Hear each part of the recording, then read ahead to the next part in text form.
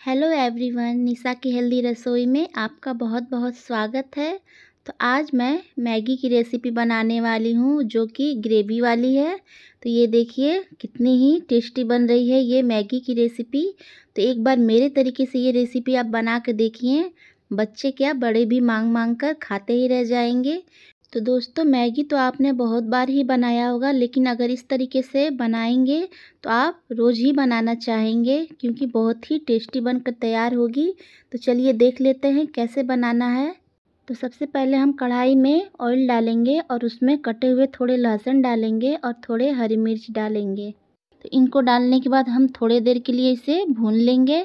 बस थोड़ा ही भूनना है। उसके बाद हम एक कटे हुए प्याज डाल देंगे, जो छोटे छोटे बारीकी कटे हुए हैं। तो इन्हें भी डालकर उसमें मिक्स करके थोड़ी देर के लिए भून लेंगे। हल्का ब्राउन होने तक। ज़्यादा नहीं भूनना है, बस थोड़ा ही भूनना है। और इसके बाद हम एक कटे हुए शिमला मिर्च ऐड कर देंगे। तो ये देखिए, इसे भी भून लेना है इन प्याज के साथ। तो बस दो मिनट के लिए इसे भूनना है, क्योंकि हेल्दी तरीके से ये बन रही हैं तो सब्जियों को ज़्यादा नहीं भूनना है।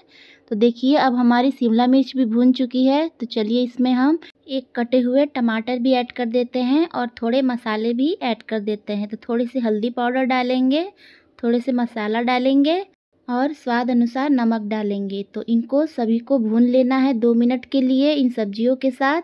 तो दोस्तों, अगर आपके पास और भी कोई सब्ज़ियाँ हों, जैसे कि गाजर, मटर, पत्ता गोभी हो तो आप इसमें ऐड कर सकते हैं और भी टेस्टी बन जाएगी।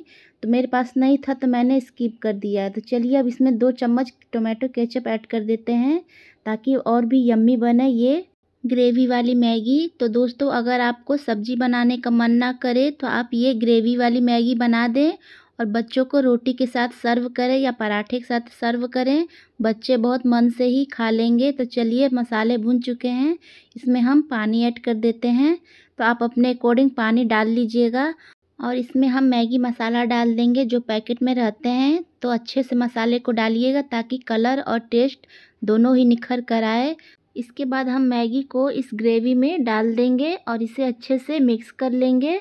तो देखिए, अच्छे से इसे मिक्स करना है। अगर आपको पानी कम लगे तो थोड़ा और ऐड कर दें। तो चलिए इसे हम ढक देते हैं दस मिनट के लिए, उसके बाद हम चेक करेंगे। तो चलिए दस मिनट हो चुके हैं तो देखिए, अभी थोड़े और ही पकेंगे, क्योंकि हमें थोड़ी गाढ़ी ही रखनी है। तो इसके वजह से थोड़ी सी और पका लेंगे। तो देखिए, कितनी ही टेस्टी बनकर तैयार हो रही है हमारी ये मैगी की रेसिपी तो देखिए, अब हमारी ये मैगी बनकर तैयार हो चुकी है। और इसकी थिकनेस आप देख सकते हैं। अगर इस तरीके से रखेंगे तो आप रोटी पराठे दोनों से खा सकते हैं। ज़्यादा पानी ना रखें, नहीं तो अच्छे नहीं लगेंगे। तो आप इसकी लुक देख सकते हैं कि कितनी ही यम्मी और टेस्टी बनकर तैयार हुई है। तो चलिए दोस्तों, इसे एक प्लेट में हम निकाल लेते हैं। तो ये देखिए, हमारी मैगी की रेसिपी अब बनकर तैयार हो चुकी है। तो दोस्तों, अगर घर में सब्ज़ियाँ ना हो तो इस तरीके से ग्रेवी वाली मैगी बनाइए। बच्चे क्या, बड़े भी सब मांग कर खाएँगे। और ये जल्दी से बनकर तैयार भी हो जाती है। अगर बच्चों को फटाफट लंच बॉक्स में कुछ देना हो तो ये भी दे सकते हैं बनाकर। तो दोस्तों, अगर मेरी रेसिपी आपको अच्छी लगती हो तो please like share and subscribe करिएगा। Thank you bye bye take care